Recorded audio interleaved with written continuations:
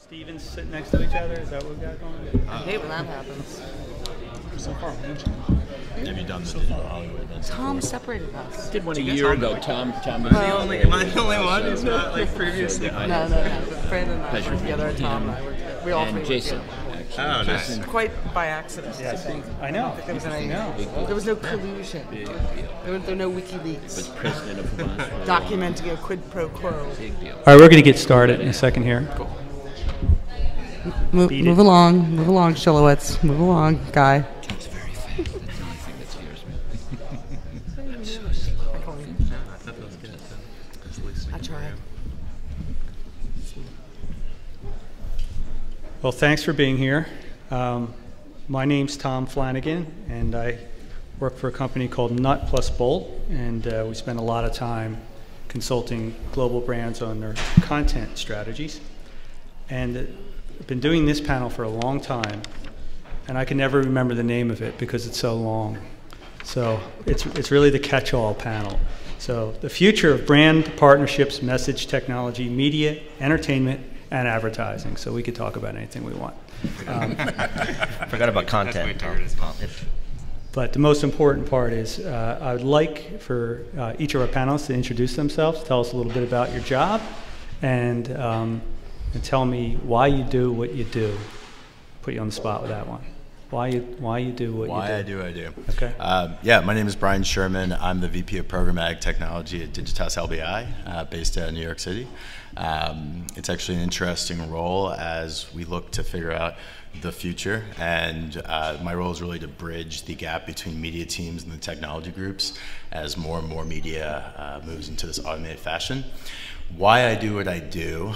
Um, because I'm I, previously to this I was in insurance sales and that was so brutal and so horrible that uh, I fell backwards into digital media and have just embraced it ever since. That's great. That's a good reason. So having been tired of talking to customers, you now talk to algorithms, and it's so much nicer to go So much every nicer. day. Yeah.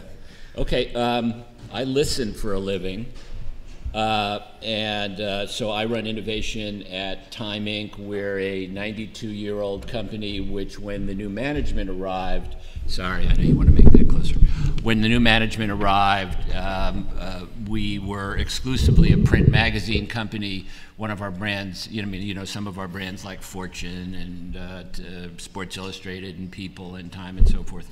There wasn't even a Fortune.com. So we arrived at a point at which we were pretty strictly a print media company.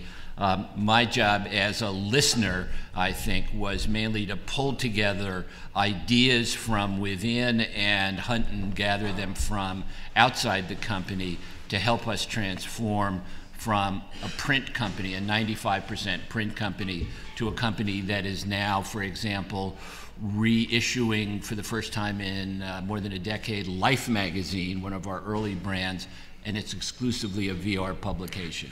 Uh, in every form of media now, we now have a larger audience between social and our web presence than BuzzFeed. We have a larger social footprint than BuzzFeed. We've actually come very far, very fast, and I would say what makes it fun is listening on panels like this to people like Jason and Tom and everybody who tell us where it's going.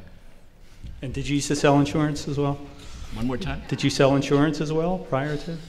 Um, no, at, at, at my age, it's even hard to buy it. Ching. Uh, Brandon? Uh, my name is Brandon Roshan. I am Managing Chief Creative Officer of Castor and Partners Los Angeles. We, uh, we're a little small independent agency that happened to be blessed with coming up and being partners with a brand called Red Bull. And what we're trying to do is figure out how to unlock this thing of entertainment and brands and where the future of this whole game is going. At least try to be at the front of it. Why did I do what I do? Because my mom told me I had to get a damn job. that was basically it. I thought, why, I, I, someone gonna pay me to do it? All right, I can do Finally, an honest answer. That's great. That's great. Um, hi, I'm Jason Drasinovic. I head up um, innovation for Havas, which is a French-owned multinational agency. Um, prior to this new role, I, um, I was president of the New York office, and I've worked uh, client-side, brand-side, um, and have a diverse amount of experience. Um, what I do for a living or why I do it is kind of the same thing. It's because you know when you come up with a crazy idea and you, you want you actually think, can I make it happen? Um, that's what I do, try to make it happen, right? And sometimes you do, sometimes you don't. But it's the chase, of the dream, chasing that. Can we actually make it happen? Is, is what it is. I'm Adam Duritza. I uh, lead our video and entertainment partnerships at Yahoo. Uh, so I get to work on some of our biggest stuff, like our recent partnership with Hulu. I lead our relationship with uh, the big television networks and media companies like CBS and NBC Universal. Uh, why I do what I do?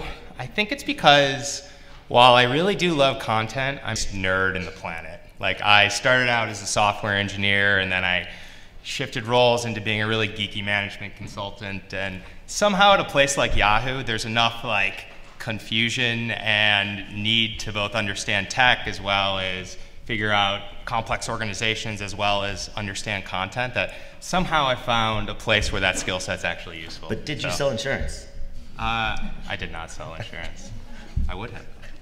Couldn't resist. I'm sorry. It's a good racket. Jen? Uh, yeah, I'm Jen Dennis. I'm uh, the uh, executive producer of uh, branded content and VR at uh, RSA Films. Um, I come from a traditional advertising background. I spent uh, 20 years as a freelancer uh, doing campaigns for everything from, you know, Toyota to Acura to mostly Nike and other Coca-Cola products like that. Um, uh, why do I do this? Is I'm a little bit. Of, he stole my line. I'm a super nerd, also, but um, I'm just passionate about the prospects of changing the game, and um, I'm passionate about telling stories, and I'm passionate about reaching people, and uh, I feel like uh, we're at the golden age of uh, change in our world. So.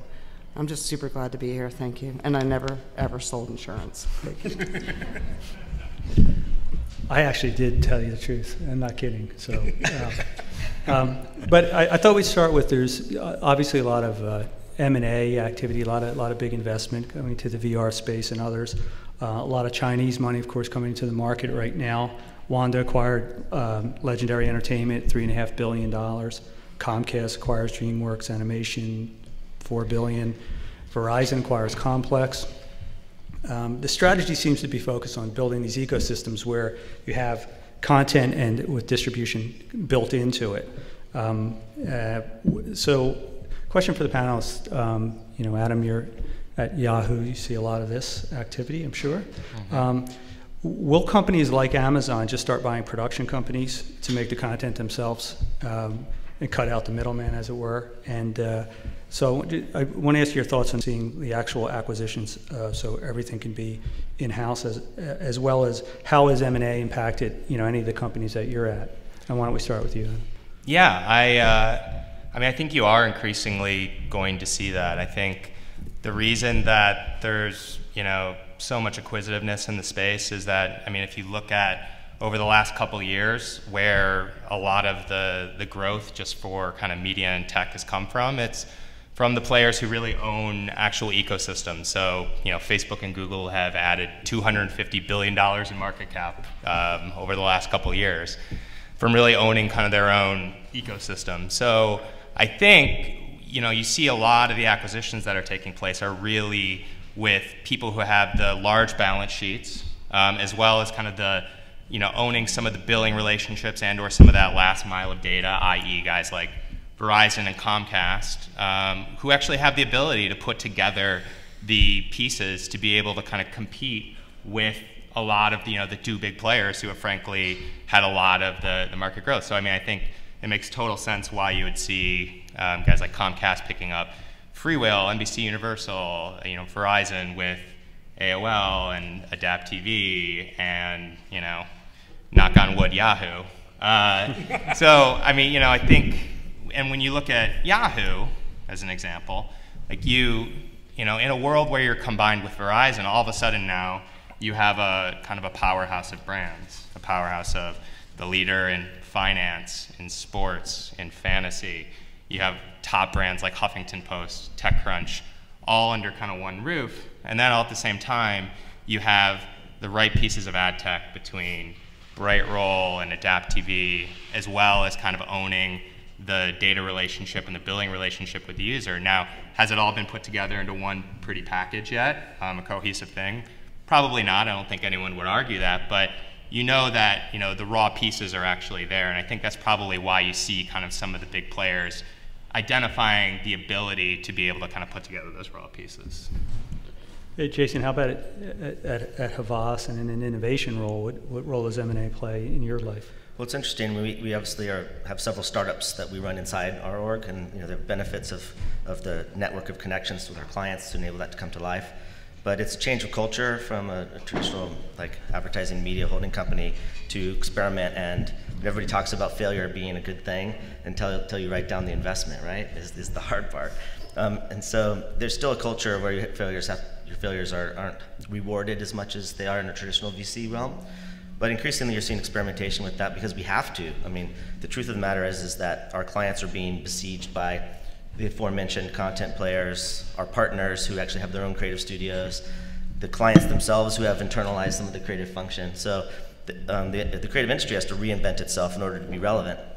Because some, and sometimes you could say that's commodity, unless you have an excellence of what you do, and that's that's what the, the innovation role comes in. Is like doing the things that are different, working in different ways, working in new partnerships and, and the, the, brands themselves have to also take those risks. And what's exciting, I think, as you know, we started, this is an amazing golden age of change. I think was the term that was mentioned, and I would say, well, I hope it's the silver age, really, because you know the the epicenter of change really should accelerate more and more. Um, I think brands want to do that more, and they're sort of struggling with, uh, how to do that. And so right now, it's about doing those bets and trying the stuff out and measuring it and then comparing it. And what we're seeing is the ones that are working are, are getting amplified pretty pretty efficiently.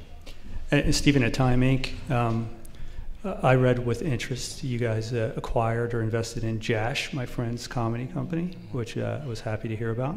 Um, through your time at Time Inc., what, what role has that played um, in your job? Well, without, without being Trumpy about it, I'd like to go back to the last question, which I really wanted to answer, which was, but I think it, it relates to what you asked about Jash which is I think we have to define ecosystem as separate from crabbing a little left and crabbing a little you add a leg and you crab a little okay. in a different direction. I think the companies you're talking about are doing a lot of crabbing they all have apple envy apple is an ecosystem.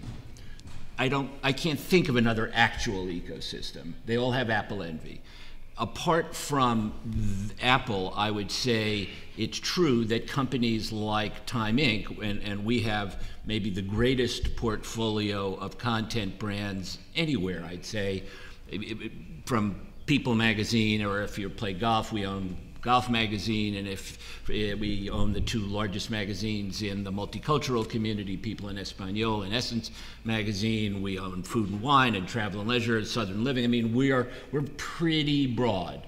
But I would say we don't have any comedy. We didn't have any auto. We have now added auto. We have added comedy. But I don't think we are convinced that that's making us an ecosystem. It's just allowing us to play in some other spaces. And we too have Apple envy. They've figured it out. Will Amazon start buying up production companies? That'll be great news the day they do because they'll fail for a while and then they're going to need a lot of help. I mean, it, when you look at what happened when Facebook launched their, when YouTube decided to launch production companies, they started the fund production companies. I, I, hope RSA you didn't get any of it. Maybe you did, so I apologize. No. The fact is, they gave money to all these old line movie guys who used to make hits for other people who had no idea what they were doing with the money for YouTube. So the minute Amazon stops doing what smart programmers do, which is you wait actually for somebody to walk in the door with a great idea and a great package and you say yes and fund it um, when the minute they start doing it top down creatively, they're going to fail. Jen, uh, you know, in, in, the community of producers, what are, what are you guys talking about with all this M&A, M&A activity swirling around, and even in the VR space, of course? Well, I mean, that's a hotbed at the moment, obviously, and um, uh, we're, we're in the wild, wild west of virtual reality. So um, I think everybody's sort of playing nicely at the moment. There's not a whole lot of M&A, uh, you know, M&A going on in that space as much as it will be. Um, but you know, actually, in, in our world of production and advertising, that doesn't really touch us as much. It just gives us uh, outlets. You know, it, the, it gives us uh, places to pitch the fact that you know Yahoo's making content and and Amazon. Truthfully, for us, this is all just you know gravy on top of what we do. So, um, you know, the fact that they're willing to make content that's not uh, you know uh, sitcoms or you know, but to really tell stories is like I said. I'll, I'll use the silver expression, but I, I think it's both silver and It's just gold. my comic book nerd coming out. That's, That's I think it. that's what that was. But you know that that doesn't affect us as much because we're we're in essence sellers. So Right. that's my answer.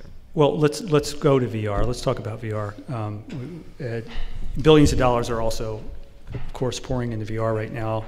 Um, And most brands seem, it- it- it's way too early for them to, uh, um, you know, others are, are doing some things, obviously. But for the most part, um, you know, it's, it's still a bit of a wait and see uh, event. You know, the announcement with, uh, with uh, PlayStation where they have 40 million out in the marketplace it was going to spur some sort of adoption, at least starting with gaming, et cetera. Um, but uh, so, you know, Brandon, let's start with you as as a creator, as a creative. Um, how are you or your companies prepping to becoming more active in VR, and, and, and why? Or what are you seeing? What kind of questions are clients asking you guys that are at agencies about VR? Well, I think clients don't know anything about VR. you know, and it's much to do with the traditional mindset and not really knowing the benefits of VR and how to monetize that VR. But I think what we have to start doing is, as storytellers in the brand space, and connecting uh, to consumers in a very relevant and real way. What VR does is it helps us be able to literally transport a person into a world that a brand could not only showcase what they're about, meaning, you know, when we talk about VR different than advertising, because we can't do advertising in VR, because really, as soon as a Red Bull can or a Coca Cola can pops up, you're like, fuck you. it's just not happening. But if you start to look at VR from more of what I say, we start talking about it from a heart of a brand, a soul of a brand, and the value of a brand, now we can really start using VR to tell stories that truly are impacted by brands and what they believe and what they do. Uh, can I jump in here a little bit? Um, you know, and this is not a, a client that I worked on, but I, I want to talk about a great example of a, a brand that you wouldn't expect to be in VR, and that's Arby's. And um, you know, Arby's has really embraced this uh, major league gaming thing, and I'm not affiliated with this work, or my agency's not involved with it. But what was interesting about it is it wasn't necessarily um, the Coke can and, and saying F off. It was more about, you know, there's a pastrami sandwich in the shooter game and you get power up by shooting the sandwich. So it like is, speaks to the vernacular of that medium. And, the, and like they had like un, unrequited love for this. Like people would chant Arby's and like from the audience and then actually go to the outlets and set up LAN like Counter Strike things in the store, right? And, um, and so that's where you're seeing it. If you can make fun of yourself a little bit, For sure. and not take yourself too seriously, and like put your put the brand out there in a way that is. Uh, Well, that's why I mean it has you to know, go to an entertainment Yeah, space exactly. It becomes an a valuable advertising space. experience, right? Exactly. So it's Brian, Brian, how about in your in your world? Yeah, I mean, I would just say, um, you know, I think we all recognize that mobile is the number one destination where consumers are spending their time, and I think we also recognize that advertising on mobile is both annoying and the ad, the traditional ad unit doesn't work, um, and it's obvious you know, we want to get rid of the interstitial and the banner and all that, and I totally get that, um, but brands still need to be able to reach consumers where they are, and so I see VR as really a fantastic way to respect the device where your consumer is and bring them that content that uh, you know in an entertaining way or in an informative way. Um, and i don't think the consumers are automatically turned off when they see a brand logo so long as they're getting some kind of benefit um, and so yeah i think you know, the proliferation of investment in vr and the number of brands who are starting to say oh well you know, we always want to talk about engagement and time spent with a brand. Well, no better way to do that than through an immersive experience rather than a 320 by 50 at the bottom of a, of a you know of an iPhone. Um, so I think there's a, a huge amount of runway, um, and frankly excited for clients to start. I think the number one thing is they build they, they spend the money on the creative to build the VR, and then the next question is, well, how do I amortize this cost by distributing it? And that's, I think, where someone like myself and people in our world can say, great, let's, uh, let's push this out to your consumers. Let's leverage everything we normally would do with targeting and measurement, but do it with an ad unit that people actually want to spend time with. But it's not a medium. It's 200,000 people. It's not a medium. I mean, in, uh, i i when, it, when you fee, there is a lot of supply. People talk about, oh, well, you know, we got to create more VR content. No, you have to create one VR hit because we are a hit driven business. This is an entertainment panel. One hit will help lead everybody to where it needs to go. So, yes, we haven't created that hit yet, but in relation to that, you have a tremendous amount of supply. A lot of it from people selling uh, glasses, a lot of it from advertisers who, in 2015, when there was all this shuffling and shifting of agencies of record, committed to some kind of a VR program that they're now playing out. But the truth is, you're playing to. I mean, think of uh, th- th- think of how we funded medium for decades, uh, media for decades. Uh, a, a CPM, right? 200 bucks, pretty good CPM. I can't think of any industry that wouldn't be happy with a $200 CPM. Great, I have 100,000 people watching. If I've spent $21,000 making it, I've spent I've lost money on this thing. So I think we're at a place at which it is part of the future if we don't turn people off with bad experiences so that they're hesitant to pick up the glasses when the good stuff comes along. And uh, uh, yeah, it's artificial right now. The supply, more study has to be done of the demand side. What do people want? What are they really willing to spend the money on rather than this sort of, uh, I think, rather anarchic distribution? Imagine if IMAX had been distributed the way VR is distributed. How would Francis Thompson and Brad Wechsler and those guys who brought us IMAX, the brilliance of what they did um, was they curated what got put on the screen, and insofar as they could, dealing with input from creators and, and the best of what walked in the door, they made sure that each experience was better than the next. There's nothing like that kind of curation growing a VR audience right now. Um, I'll be happier when it is because then it can become the medium that these guys can figure out how to distribute and monetize. And Jen, I know you can make a hit. Come on.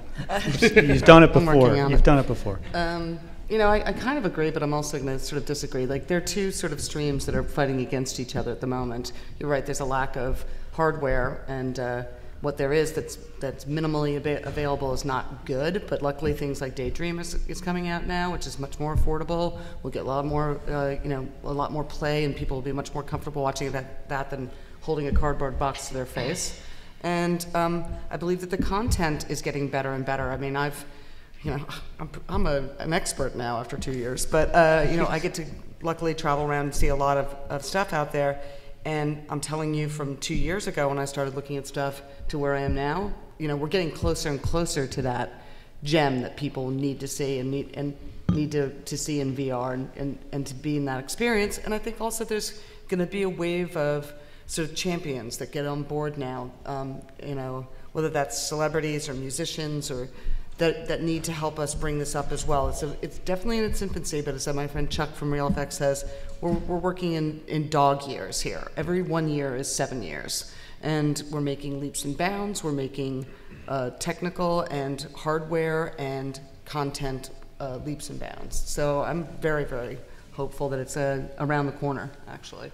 I, I do agree with you on the kind of bringing in you know different forms like musicians and that kind of thing. I, I can speak from experience just from on the Yahoo side. We recently had a partnership with Live Nation for a year where we were live streaming one concert per day for 365 days. In a lot of ways, it was you know an extremely successful partnership. But one thing I think it would be fair to say is is that um, going to any live event or any concert is a extremely experiential thing that's very very hard to replicate mm-hmm. in any kind of either desktop environment or mobile environment. It's hard to give users a reason to keep coming back to something like that versus just going to the event. For the mm-hmm. first time ever i'm like thinking god i wish we had entered into that live nation partnership today or next year in an environment where all of a sudden now like you have a model where you could see even with to your point of only a couple hundred thousand people actually have you know being out there that are able to do it you know price points can get to a point where you can actually have a pretty profitable business with live events so Yeah. whether it's live nation and hulu i know that they just entered into a partnership i think there is some potential i think like live events might be our first kind of entryway mm-hmm. into that We definitely need gateway stuff for sure, and that's Yeah. that's one of them. And uh, you know, I don't I don't know if you've seen the experience with the, it's one of the very first ones done, but uh, you know, Paul McCartney on the stage, and i- i- it's if you've never stood on the stage while a concert's going on, it's pretty unbelievable. It's pretty impactful. But So- you guys were very early. Way back when you made the Live Nation deal, the thought was if I can put you in a front row seat in a concert a thousand miles away, Yep. that that front row seat was scalped for 2,800 bucks and that you don't Yeah. have. Um, that'd be pretty exciting. I think the front row seat thing hasn't worked. And to your point, where you are right now. I mean, what Fox Sports is doing now, for example, and watch their trajectory, and we're all learning from each other. They've just created now a suite at the basketball game, and I can invite five friends in the suite, and I can populate it with Yep. a party all around me, and I can have all the stats available in front of me that are available to the people calling the game. Now, if you add the social dimension Yep. and maybe eventually a haptic dimension, you now have an actual uh, VR. I think uh, right now we're in that world where it's probably to everybody's benefit to conflate VR and 360 a little bit. Because true VR, which will include, as Mark Zuckerberg mentioned the other day, they're going to try to add the social dimension to it.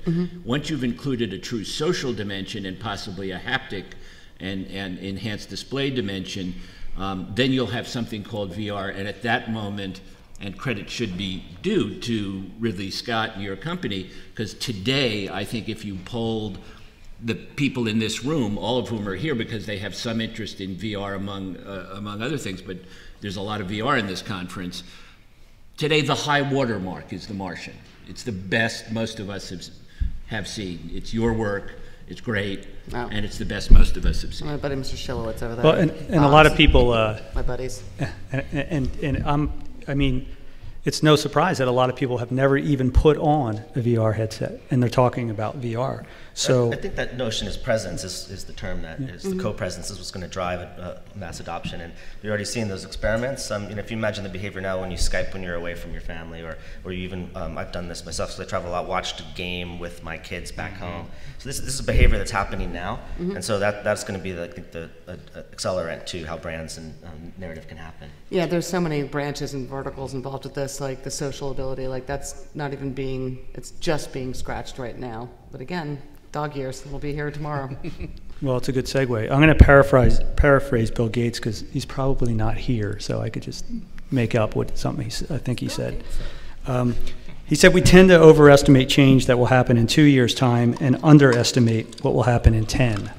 So I, I think that's kind of appropriate to the VR conversation, but but I want to tie it to something else. So here we are, 2016. Um, what makes advertising more effective now with all the advances in technology um, and all the different consumer platforms that have evolved in the last 10 years than it was 10 years ago?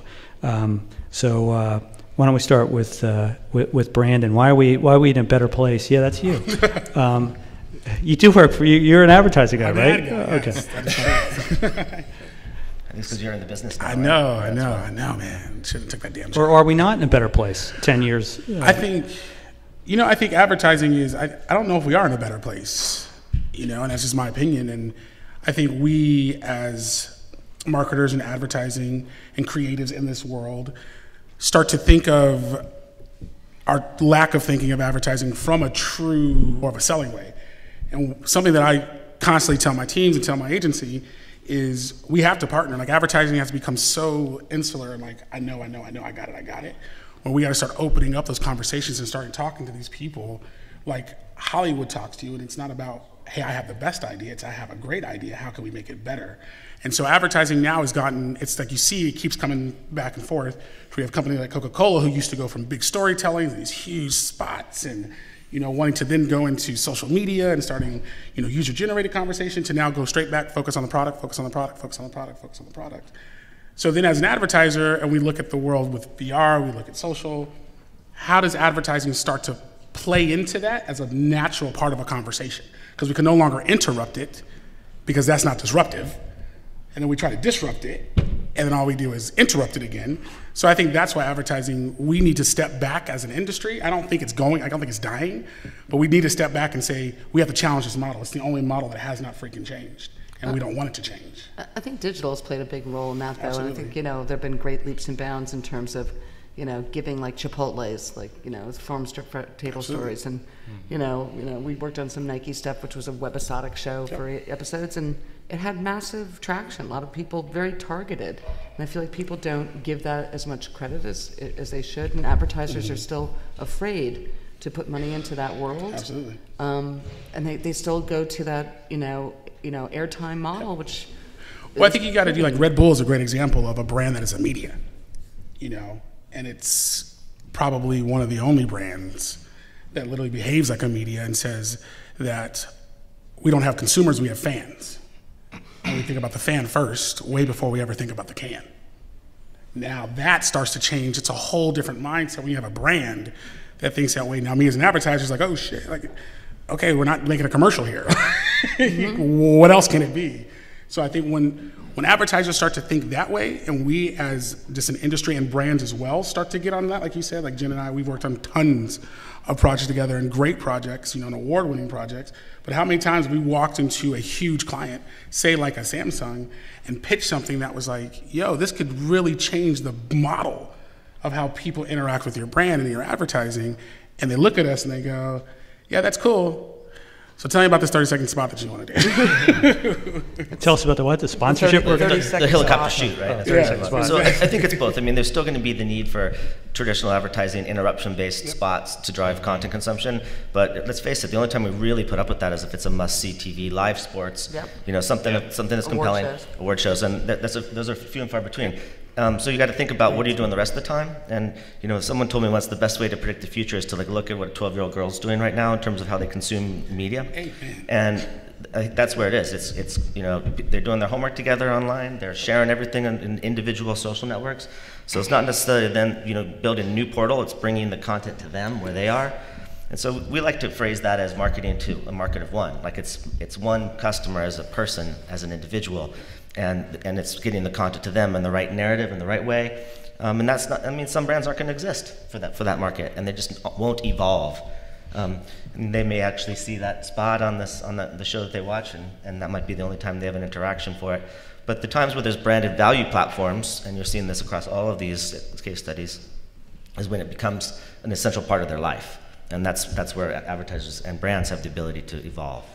Brian, uh, Brian, you know, I hear a lot, you know, clients, brands get get blamed for not taking risks, and uh, and the cultures at the at the at the company prevents um, change or innovation. But uh, you know, having worked for ad agencies most of my adult life, uh, uh, the same is true on the ad side. So so the, culture at agencies is uh, that um, they're protecting their positions, what they know how to do.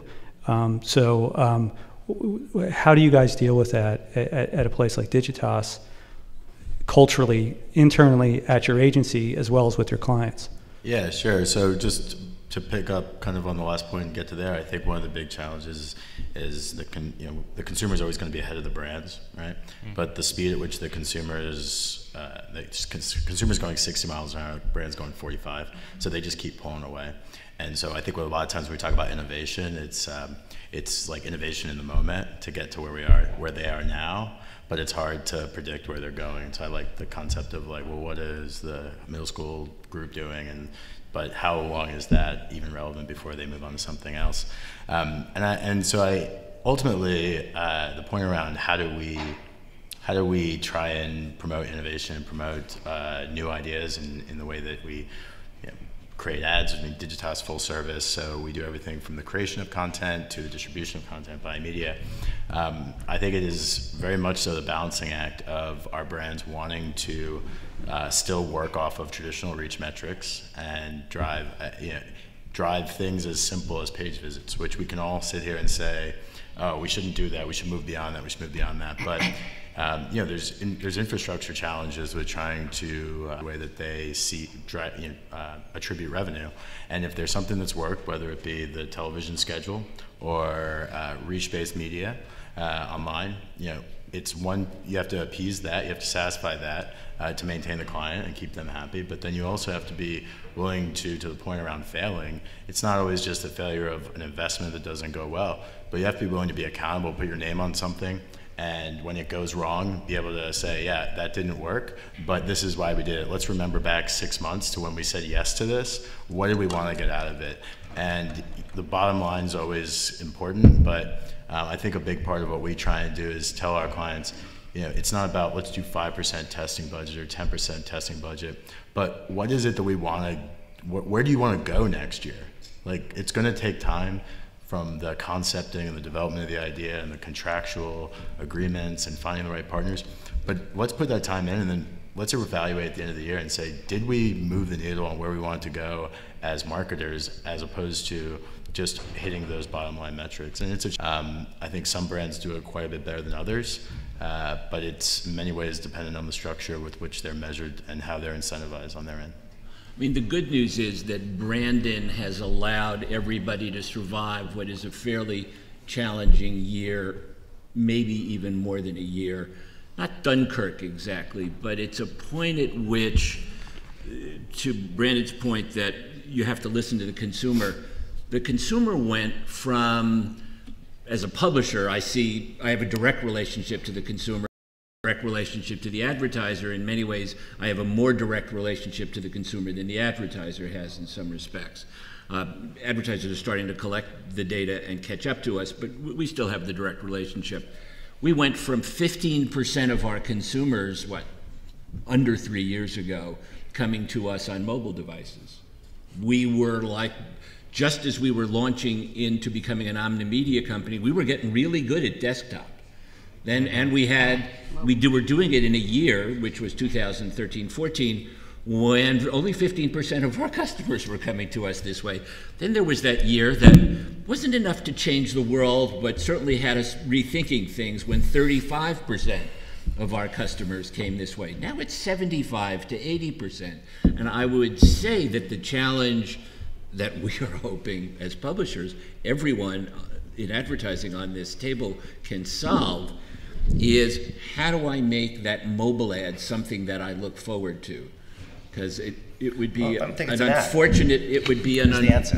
What? It's not an ad, is the answer. It's Right, it's an, it- It's it's a form of care about, engagement right? which Yeah. involves hopefully either my a content. or something emotional, and, and maybe that's tied to your content, but it's got to do something that makes me want to care. Yes, exactly. right? Yeah, but the challenge there is then okay, so the ad's great, and it's not an ad, it's an experience, and the consumer falls in love. But then they want to take an action, they want to engage with your brand, and you send them to a page that they don't really know what to do. It doesn't mirror the experience they just had. It's maybe the ad is a beautiful immersive story, and then the website is like the same garbage it's always been. Um, the call to action can't doesn't carry through. So I mean, I think we it's very oftentimes think about like the front end, what the consumer sees is great, but you know, consumers want that experience to be carried through to the end goal. It's you know they want to buy products, they want to support the brands and and you know wear the clothes that make them feel this and that. But if the experience they get when they land on the site, especially on mobile, is not uh, doesn't you know give them the opportunity,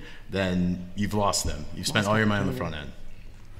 So um, somebody uh, once said strategy is really about finding a reason to say no. Um, and uh, so the, all of us in one way, shape, or another have to are, are content strategists.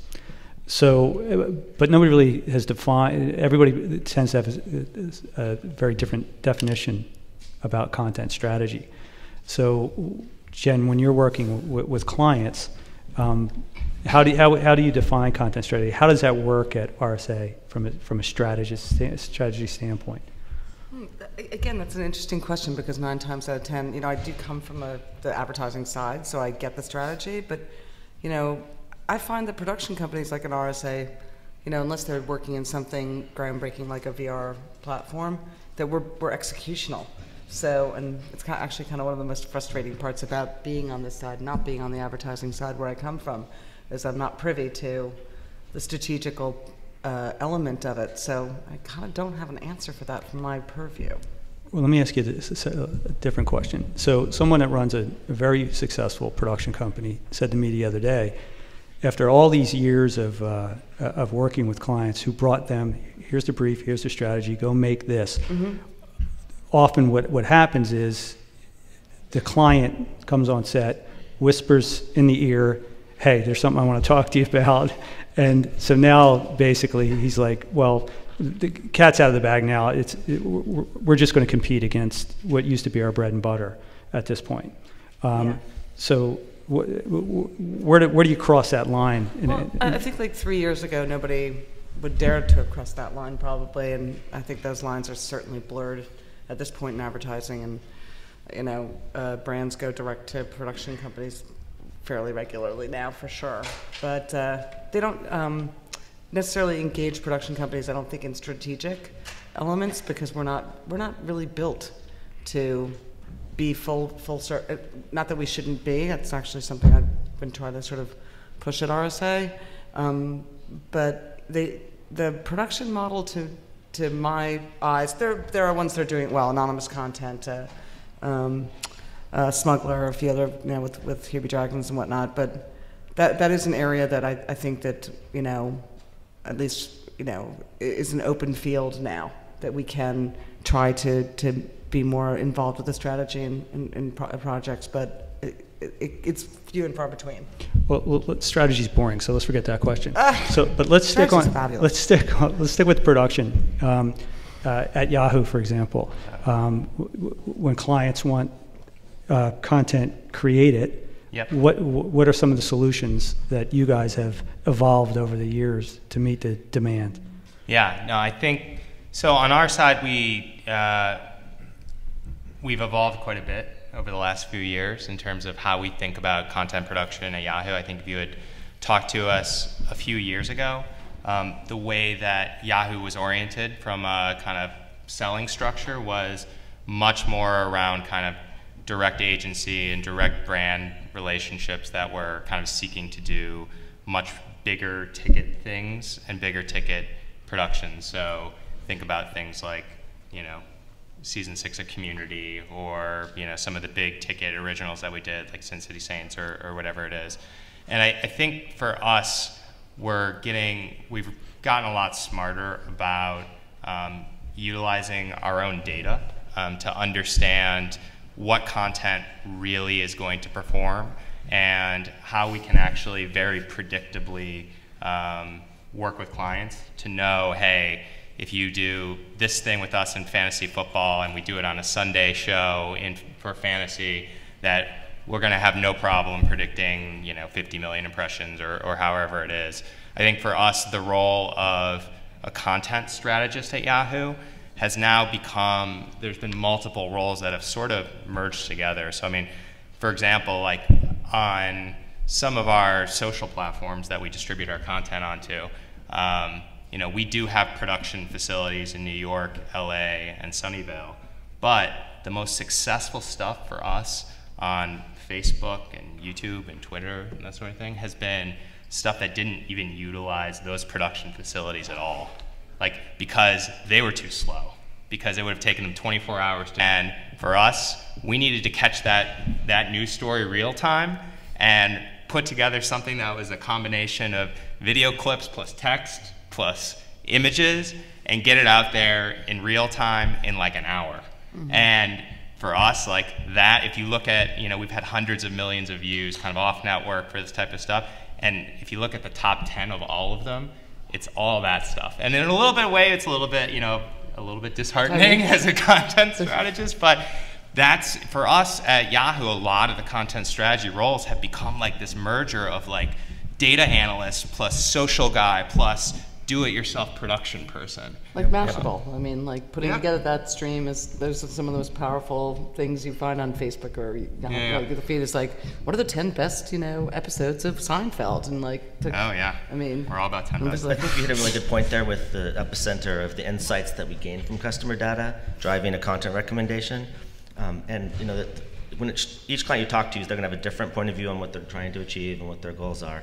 Um, and what is clearly becoming evident is the pace at which you can deliver the content. You have to be very fast, you have to be flexible, and it has to be short. And what we've seen is success when you empower people that are closest to your customer to help tell the story. Mm-hmm. And so for some of our brands, we've got hundreds of influencers that are actually shooting little stuff on their iPhones mm-hmm. and doing programmatic content creation in their own voice. That's a brand comms. Um, and then you roll that out at scale, dynamically change the creative, the offer, the location where the media is served.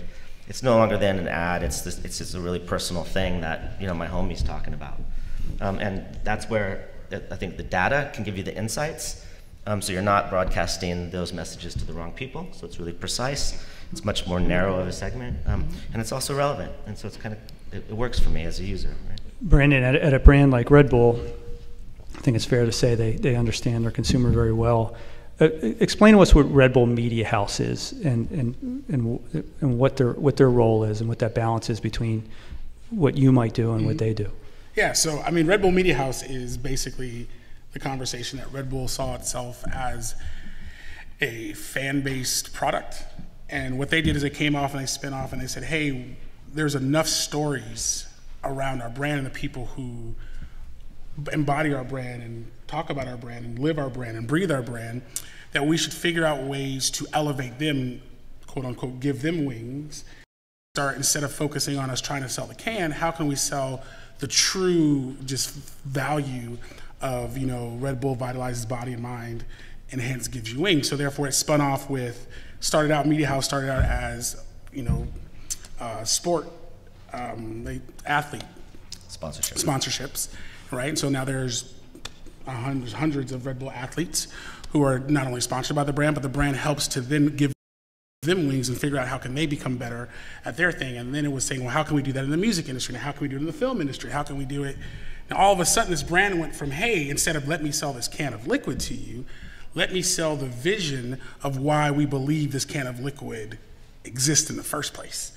Now, Media House, now comes around you have the can business at Red Bull and you have the media house business at Red Bull, and those are two separate, very separate businesses, but yet they help each other, right? So, like we said, not every brand can sit there and become a media house. It's just not going to happen. But what Red Bull has done very, very well is being able to stay true to the visionary of Mr. Dietrich Mateschitz, who invented Red Bull, of what he, why he started it in the first place, was to truly elevate and to champion the relentless pursuit of the human endeavor. And that's all the brand stands for. And the brand was like, we're not going to get marred down in trying to sell more cans. We're going to get marred down in trying to sell this vision. So that is where I think Media House and Red Bull, it's, it's for a brand to do that, like we were saying, it's, it's hard because we got to get matrices and we got to sell product. And how do we start to separate those two things? Now, with a brand like Red Bull doing it, more brands are starting to take note to that and saying that it is about how to be real time, how to do something that is absolutely talking now. So Red Bull, we always talk about, not Red Bull at Kastner, we always talk about how the agent, the industry and the agency model is like the, the old record label model. Everybody wanted to drop albums. And I was like, bump that, we're not drop albums, we're gonna drop hits. And all we do is drop hits, one hit after another. I think now we're dropping just beats. Now we're dropping beats, right? Exactly. Right. It's, it's, getting even shorter. It's getting even shorter. So now we have to be nimble and fast and super quick. And so now when Red Bull has a production company, its own production company, I don't need to go to an RSA. Right what? now, I love to go to what? RSA. I love to go to RSA because I love Jen and I love RSA. But Red Bull, there's it happens so fast that Red Bull is capturing all of their content. Like for me to go out and shoot something for Red Bull, they're going to be like, you know what? Well, we Lollapalooza, but we got we literally got hundred people tweeting and videotaping and capturing and streaming. So you don't need to produce anything for us. Just hey, let's make sure we're staying on strategy. Let's make sure we're staying on message. Let's make sure the brand is staying true to what the brand stands for. But as far as us going out and saying, hey, I have a TV spot or I have a content piece I want to shoot for you, they're like, great, you can come up with an idea. Red Bull probably have already come up with it, and they'll say, well, cool, we'll give you a, a how many producers, we'll give you directors, we got writers, all that in house. So now I look at my traditional background of going to production companies and partnering with them, and my biggest brand says, we got this. And you're like, damn. so, Stephen, wh- where was the tipping point as a publisher where you start raising your hand and say, oh, not we don't want to just do the media buy with you, but we could actually create content that would be helpful to you. what we're talking all around goes back to this, and the solution we've arrived at, not one we necessarily would have chosen, all of us, on both sides, publishing as well as advertising, because we are sort of locked together to some degree, is native. And what this conversation illustrated, it sort of got ahead of itself in a way, is reminding everybody of the greatest challenge of native, which is that I used to be Time Magazine by delivering the news once a week. Now it's you know by the by the time I've read the thing about the latest Trump uh, bill whether Bill Clinton's a cocaine addict, you all have read it in nine other different things since early this morning when it was first being surfaced somewhere on an obscure blog. So being real time, I think, will turn out to be one of the challenges of what I hope we all solve, which is native, which is the integration of storytelling, which is engaging, with brands who need to find a way into these devices that aren't, to your point, look, don't look just like an ad. So uh, I'd say, as a company that puts out 800 fresh posts a day, and with due respect to other content uh, providers, uh, one that famously just sort of rewrites everybody else's stories. I won't mention their names. CEO's a friend of mine, uh, but that's what they do. They rewrite a lot of other people's content, and then other folks who have built a brand around reading the story and sort of rewriting it with a hipper kind of uh, uh, talk, you know, sh- uh, sh- sh- shuck and jive, I would say. Um, the, um, we have the editors of People uh, looking at what's the latest that's happening in Hollywood and celebrities. We have the editors of Sports Illustrated looking at the latest sports stories. We actually have brands and credible writers who are still able to turn out 800 to 1,000 posts a day. At the moment, I'm, I'm waiting for the phone call from any one of these guys, I'll leave you my number, that says, hey, we want that kind of, we want to, we, we want to attach our brand. We're a little nervous about those guys who sort of make all this stuff up. We want to attach our brand to credible content from credible sources, from premium, with premium branding attached. So I'm hoping that native is a big part of our future, but we all have to get the real time thing right because the it's not right on the agency side, where except for Jason, who like Robin Williams just thinks faster than any human I've ever known. Well, I don't know Um, about that, but I'll, I'll, I do know that it's not always on, and it's about always relevant. And sometimes That's right. Being, being like smart, it means you're not saying anything, right? And not trying to step in. But brands like often step in. It's going to blow up, viral moment, and then that ends up being wrong. So you have to be careful, but also smart. But I think that, right? I think like when we talked about media house once again, like when I said brands are, are the new medium.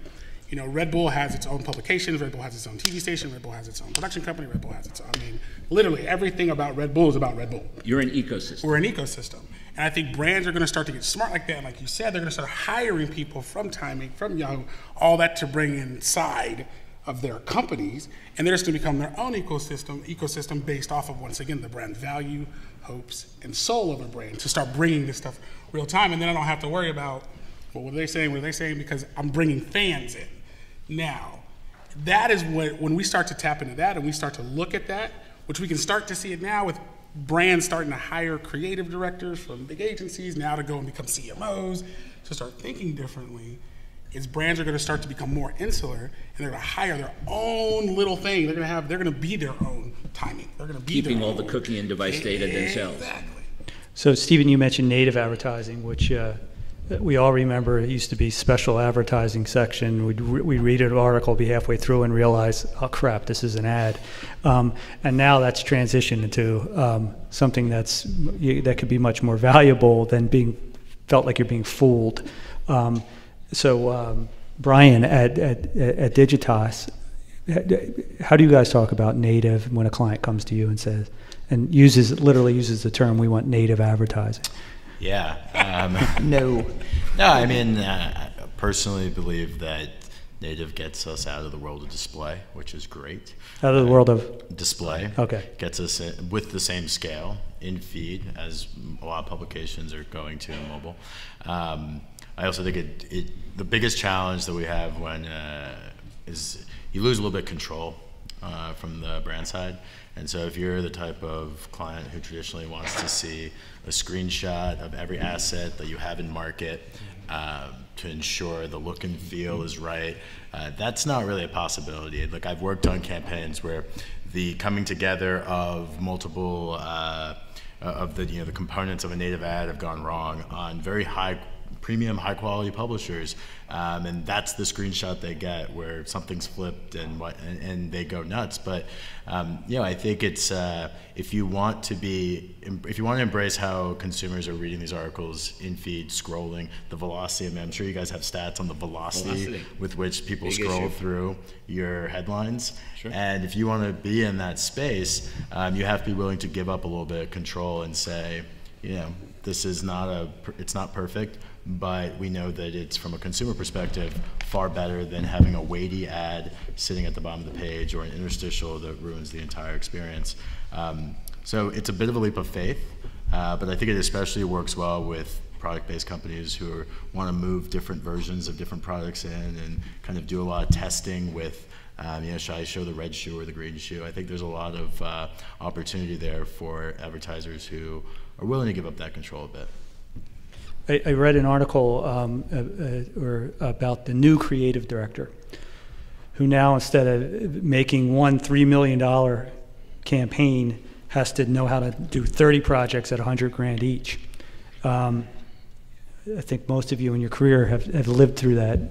that, We're living that- it again right now. I'm It's doing it right now. It's. There there was a period of time where we had the three million, but those are kind of few and far between now. It's a lot of, it's a lot of new ways of working. Lots of these smaller things, you know, want to test it out, and you can still get some big brand campaign stuff. But you know, I think on the exper- experimental stuff on the fringe, you know, it's testing and iterating. It's building little applications and putting them in market and actually measuring it. And um, you know, that's usually in the under half a million range, um, unless you got somebody who's just really bold, you know. So, so Brandon, what do you see when you're hiring young creatives now, and um, and uh, who haven't lived through what you lived through, where the, the budgets and the nature of the work has changed so much? Well, I think I've. it's funny because I hire lots of millennials, but um, what I love about it is they're they're makers and doers. You know, they hate to wait and they hate to fear the process of okay, now I got to come up with an idea, then I got to get somebody to say yes to it, then I got to go sell it to somebody, Just shit and it, then they got to say it. It's like let's just go and make it. We could be done by the time you get to the third conversation. We could have four pieces out. You know, so that's what's what's really cool about that kind of stuff, and they're not marred in the whole. Well, do I have to? You know, I mean, there's a little bit ignorance behind it, but there's a little bliss to that. because there are smart people like on this panel who have been doing it for a long time and there are reasons that they are where they are. But I also think that the younger, something that I do when I hire people is I'm asking them following, like what is, their, what is your following? Like how do you connect to people organically? And I'm not saying you got to be some big Twitter, you know, guru and Insta famous and all that other stuff. but you have to understand that consumers work in real time and we have to start to get our brands to start transitioning to that thinking. So let's go out and we just make and then we sell. Instead of going out and asking for permission, let's go ask for forgiveness. I'd rather sell you something that's already made and you can say yes or no instead of me trying to convince you into letting us make it. We call that prototype, not PowerPoint. Yeah. Right. That's that's really the new good. pitch, right? You don't even show them a deck; you just show them. Show them it. Here you go. Here's a It's, prototype. a- it's actually interesting. The uh, the reference I made earlier to like a lot of our top ten performing things being a lot of these quick hit things. Our number one video almost ever uh, on a social platform was one that when uh, someone had had an idea to create Titanic 2, which was literally like a true to scale version of the original Titanic, which was a cruise ship. And in real time, we got a video out that basically kind of, you know, brought together, you know, some like, you know, crazy stuff about what that might look like and all that kind of thing. And for months, for, for almost the entire year, it was our top performing thing on Facebook. And it was the 23 year old who had just graduated from college two weeks ago who created that. Uh, and you know, to me, I was just like, "Good God! Like, what a you know, what what a changing world." Well, you got to give them the tools, and like a lot of our, our new engagements are putting those experimental centers in with the brand, or in with the content company, or in with the production company, embedded. Um, and sometimes it's cross brand agency, two couple agencies work together on it. Sometimes competitive, sometimes with media companies. Um, and that's sort of the, the new normal now. Is this uh, frenemies working together, um, trying to crack it. Yeah, there's just real quick. There's a lot of talk about one do one to one marketing, and then you know you want your video to get you know 50 million hits. Well, what's wrong with 5,000 people really liking the thing you produced? Yeah. That to me is as one to one as we're gonna get to. And for those 5,000 people, if you can scale that out across you know a couple hundred videos, you're probably having more of an impact in, with someone than just having the big one hit wonder. Um, that becomes I almost have to watch it as social currency, whether or not I actually care at all. Yeah, when they're, they're self-selecting into that content, they're going to be a more valuable uh, customer. Um, Jen, how about how about with with, with VR? Um, uh, Jason mentioned prototyping. Uh, What what kind of budgets, if you can say, range our clients saying? Well, we want to try something. We don't know where to start. Wh- What's it going to take? Well, I, I, you know, obviously the, the the start and the end of that are two very diametrically opposed. Uh, from the very high end, obviously, it can be a very expensive medium if you want to be interactive and CGI and all that stuff. But from the very baseline, I mean, uh, I think people, if they've watched any of the stuff on uh, the New York Times, there's a piece called The Walking Man, and uh, a friend of mine produced that, and that was done for probably $150,000, which is not a lot of money. But I think one of my favorite ideas, and I think that it'll, it'll, it'll pick up and it will also help sort of move the needle on, on VR, is a, friend of mine who works with a sort of a VR boot camp is creating a boot. They just told all their, their young director types to run out and buy a $300 Nokia 360 video camera and start creating. And I think things like that are going to start to push that in the same direction of instant and sociability and shareability and whatnot. So it's everybody's like, afraid of VR because it seems very expensive, but there's going to be uh, gateway, um, cheaper uh, uh, ways to get people involved. I think you'll see that this, this Christmas with Daydream. Yes, Um, totally. For those of you who don't know, Google's just dropped this thing, and you know their whole their ecosystem is pretty tight. I would say, I would say, Steve, um, they, they seem to be um, rocking that. Just as good as Apple. Um, and uh, in some ways, they may have even ju- leaped on a little bit because their you know, their phone works, or has a has a uh, has a s- cable for your speaker at least. That's, that's funny. But um, it, that, that's a two hundred dollar, I think, three hundred dollar price No, point, yeah, something, and that's like it's almost a Christmas present. I was actually thinking that's affordable for people to you know that are gamers or like or just want to do something different, right? Yeah, I mean that's already bringing it down, making it more democrat, you know, democratized, and that's all we're really trying to do at this point, is get those headsets. And I think eventually, AR VR is going to be where your phone is anyway. So, you know, I hate to say it, but it's not going to be this anymore. it's going to be this. Yeah, I think you're touching on this notion of the brand is the interface, which is uh, something we talk a lot about. You know, it's not necessarily the mark or the logo anymore. It's like a moving thing. It's a GIF, or it's even how you navigate with it. Um, and great bands like you can look at some of this now using smart data and content to drive it. It's a visceral, living thing.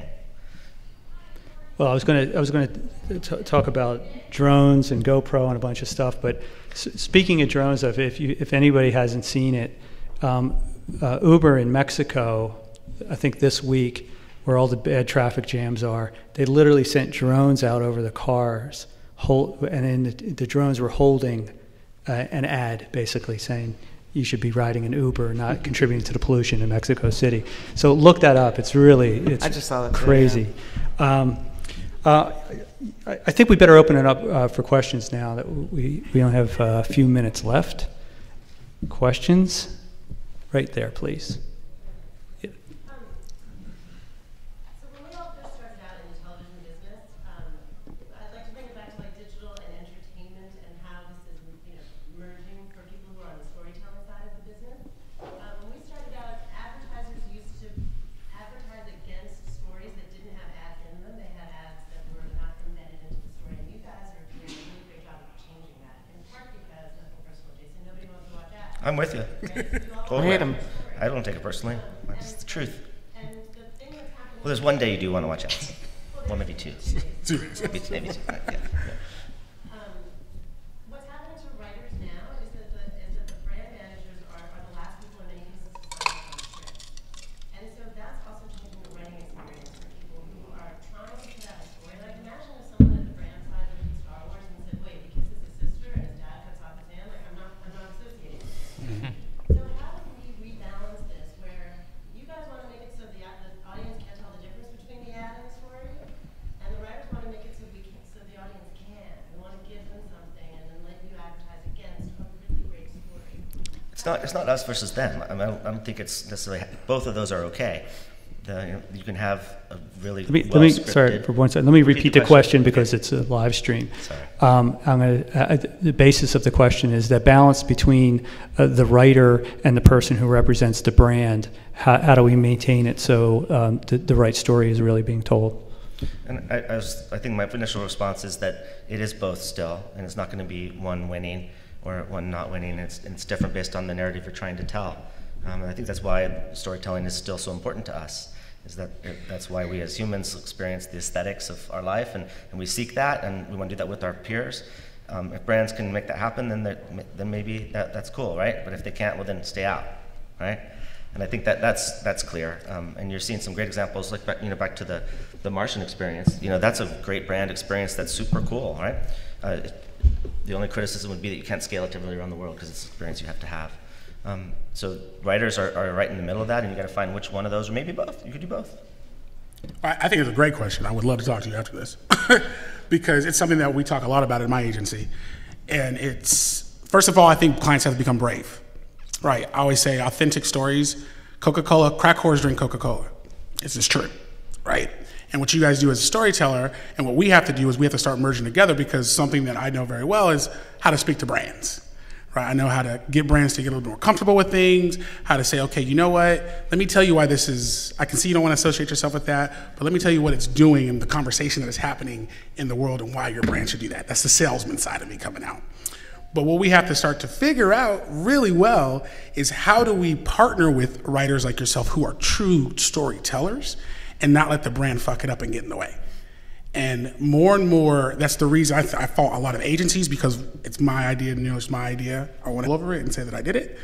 But we have to start figuring out how to partner together and let me do what I do really well and do what you do really well. And then we together can sell something to a brand that is going to not only do amazing storytelling for the brand, but also become super authentic. Because that's a conversation we have every day with every client is how do we get more authentic?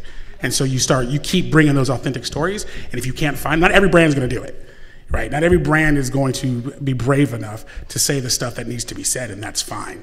But the brands that do do it usually spike and they do really great with consumers because of the truth. So what I do is I look for people like yourself as storytellers, and I say, tell me a story. Tell me a story that you really want to tell, and tell me why you want to tell, and tell me the heart and the vision and the, the purpose of it. And then I can tell you, okay, it may not be for every brand, but I guarantee you we can figure out a way for it to be, if it's right for a brand, that can still be authentic. So you got to figure out who you're going to play with. I could tell an example of a brand that we worked on that did that, and that was Hershey's Jolly Ranchers, which you would never think Hershey was actually a, a I would say, experimental company. but uh, after years of, of talking to them, we finally said, hey, you know, you got to go with the, you know, tell us your stories that suck Yes. um, campaign, um, and that really worked because you know there's that authentic, authenticity of that's actually what you do with the product, but also it enabled people to like really joke about it, um, and that was real, right? So that drove incredible engagement and moved product. Yep. You know, which is you know one of those things where you how it can does that, huh? yeah, you just you can just be real, and this is people telling stories about how much they suck, right? Um, and then then you know that's a good new narrative, and the kids themselves are telling that narrative, but the brand also was able to tell sucking stories. Because we love drama, period. That's why we're in the debate we're in right now, what's going to happen tonight. The reason why it's so great is because drama, we love it. Mm-hmm. You know, like I said, shiny, happy asshole, the world, not my world. I don't, I don't know that. I got real problems. And when brands come to me and talk to me as if like those problems don't exist, I'm like, you know nothing about me. So now you can put a positive spin on it. You know, you can make it stories that suck and literally still to be uplifting and inspiring and you know to, to cause a greater good or a greater conversation but come at it real and that is why we as advertisers i can say we I say me as an advertiser i love talking to people like you i'm like tell me girl tell me what i'm doing wrong Tell me why I'm messing up the storytelling, because I'm gonna go tell these, I'm gonna go tell these brands, this is what you're doing. I think part of the question for the writer, though, if I can just pick up on that, is Sure. do you take the paycheck? That's the question. Do you take the paycheck? For example, if Casey Neistat is a brilliant creator, I don't think anyone who knows in this room Casey Neistat and who he is would argue that he's a brilliant creator. Casey actually just goes out every day. He's got a couple of people with a handheld camera, and he tells stories.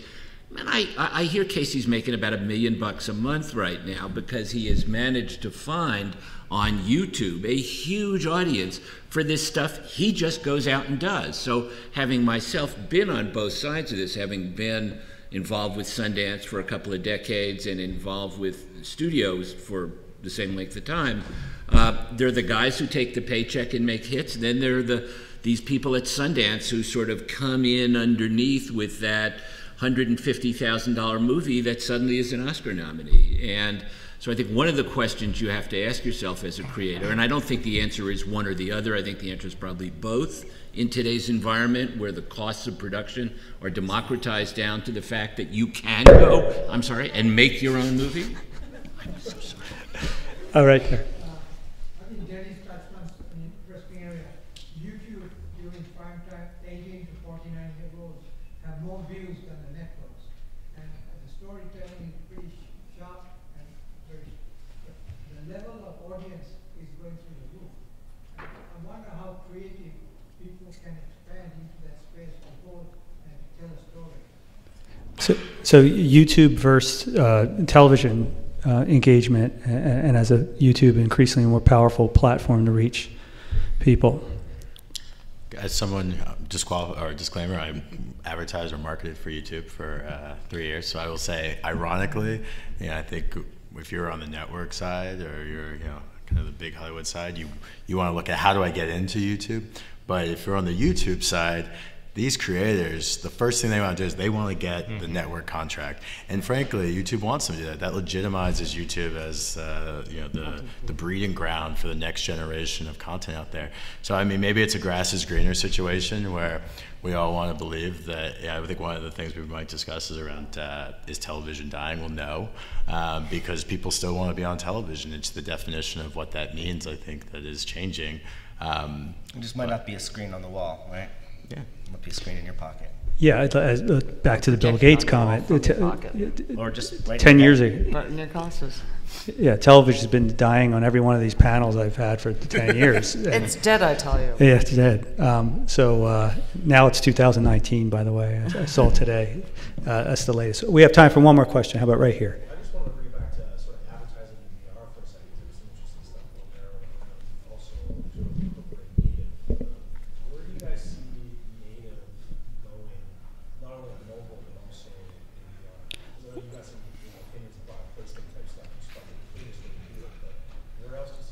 The question's about native advertising as it as it applies to VR going forward. I could give example of something that just launched on, on the New York Times VR thing on, on Sunday, and that was, you know, IBM was my client, and we tell a, a lot of stories about Watson. Um, and the narrative that's told there was from the, bee, the beekeeper um, point of view. Um, so that's a great example of native storytelling in a VR format that then has downstream assets that can be used for traditional advertising as well as digital social tiles. And that's a story that people want to hear, right? You know, this computers are going to save the world, right? So that aligns with uh, you know the brand's proposition that you know they're selling Watson. You could have that come to life through the narrative of a really cool experience where you get to run through the fields and, and see the world like a bee does. Um, and then downstream, you've got uh, you know the, the digital support mechanism to enable that to come to life. Like those type of things are, are I think are kind of getting closer. You know, maybe that's a three to five minute experience. Um, then you want to learn more, you end up on a more traditional digital experience. Well, in VR, you're creating worlds, so there's got to be advertising in those worlds. So it's kind of a, you know, inside the inside the inside, inside you know, the Russian doll. You know, eventually.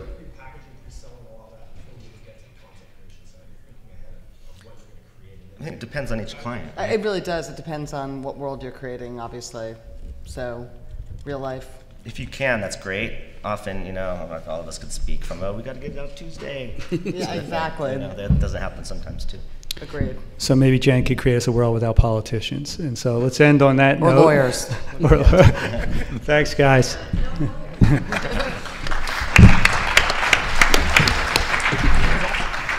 good fun. Can we uh, catch up again? Absolutely. Yes.